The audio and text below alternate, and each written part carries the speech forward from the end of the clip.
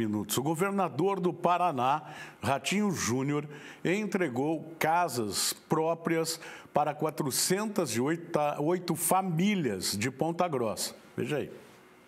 408 famílias de Ponta Grossa, nos Campos Gerais, receberam as chaves das suas novas residências neste sábado. A entrega aconteceu na inauguração do residencial Bem Viver o Varanas. O projeto contou com investimento superior a 5 milhões de reais, proveniente do governo do estado, que viabilizou o projeto com redução de custos de compra por parte dos novos moradores. Aquela família que não tem condição de dar entrada no financiamento, nós bancamos a entrada para ela até 20 mil reais, nós damos claro, é, além disso, uma infraestrutura. Nós temos aqui, hoje anunciamos creche, anunciamos também posto de saúde para atender o bairro. Nós, através da prefeita, foi anunciado com os nossos deputados, Célio Alex, Marcelo Rangel, os deputados Ussi e deputado Fadel, é, 200 milhões de é, reais de pavimentação e mais 25 milhões que eu tinha anunciado já no dia do aniversário da cidade. São 408 famílias mais felizes em Ponta Grossa.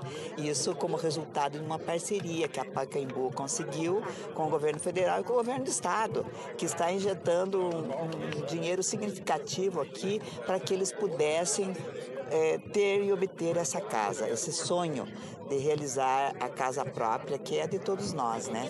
O programa Casa Fácil Paraná já atende mais de 60 mil famílias, na maioria dos casos com a concessão de subsídios para a conquista da primeira moradia.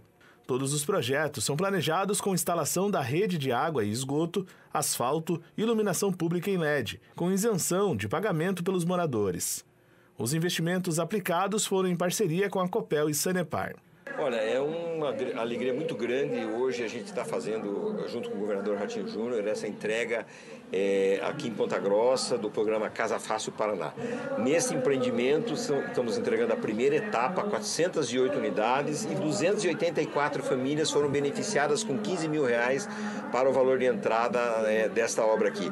Nesse mesmo conjunto, nós estamos construindo mais mil casas, serão 1.500 casas ao total nesse conjunto e na cidade de Ponta Grossa, o governo do estado está investindo né, é, na construção de mais de 5 mil unidades já estão contratadas.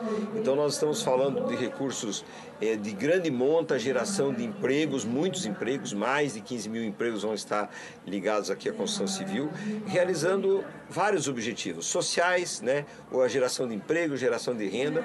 Então esse é o governo que trabalha e que cuida dos paranaenses. A Edmara e sua família, além do casal Guilherme e Bianca, foram contemplados pelo programa e não esconderam a sua felicidade de poder receber as chaves das suas novas casas. Nossa, é imensa alegria. É um sonho. É uma conquista realizada, nós né, tempo buscando e hoje chegou o dia.